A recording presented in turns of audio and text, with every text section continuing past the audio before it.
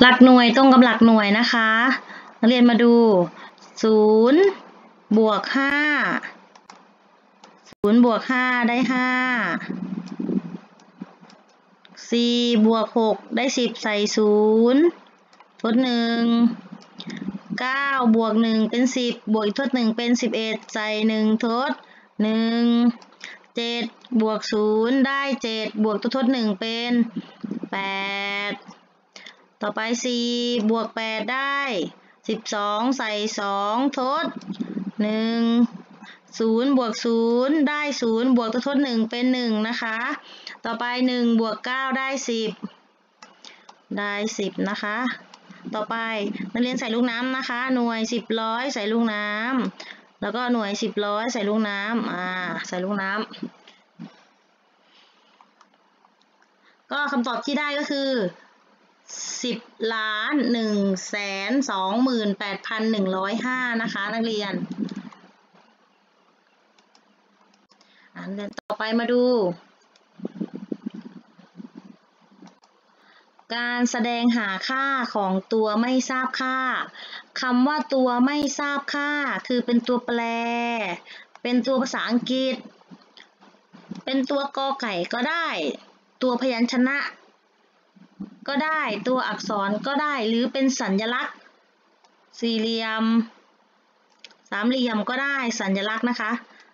นี่คือตัวไม่ทราบค่าให้แทนตัวไม่ทราบค่า ดังนั้นข้อนี้คุณครูให้ a เป็นตัวไม่ทราบค่านะคะ ดังนั้น 78,021 บวก1ล้าน294,860 นะคะ บวกกันได้เท่ากับ a ดังนั้นเราจะต้องหาค่าของ a ได้เท่ากับเท่าไหร่นะคะ ก็จะเป็น1บวก0ได้ 1 2บวก6ได้ 8 0บวก8ได้ 8 8บวก4ได้ 12 ใส่ 2 ทด 1 7บวก9ได้ 16 บวกทด 1 เป็น 10 7ใส่7ทด1 2บวกตัวทด1นะคะ เป็น3ต่อไป1ไม่มีตัวทดไม่มีตัวบวก ก็จะชัก1ลงมาเลย ก็จะได้ ใส่ลูกน้ำหน่วย10ร้อยใส่ลูกน้ำอ่าต่อไปได้หนึ่งล้านสามแสนเจ็ดหมื่นสองพันแปดร้อยแปดสิบเอ็ดนี่คือค่าของ A นะคะ นักเรียนอ่าให้นักเรียนตอบ ตอบเท่าไหร่คะ A เท่ากับ A เท่ากับเท่าไหร่คะหนึ่งล้านสามแสนเจ็ดหมื่นสองพันแปดร้อยแปดสิบเอ็ดนะคะ นี่คือค่าของ a ค่าของ a นะคะ ต่อไปนักเรียนไปดูอ้าวข้อต่อไป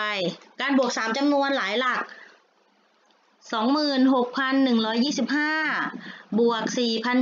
4,007 บวก 3,9580 เท่ากับ c ดังนั้นตัวไม่ทราบค่าคือตัวอะไรคะ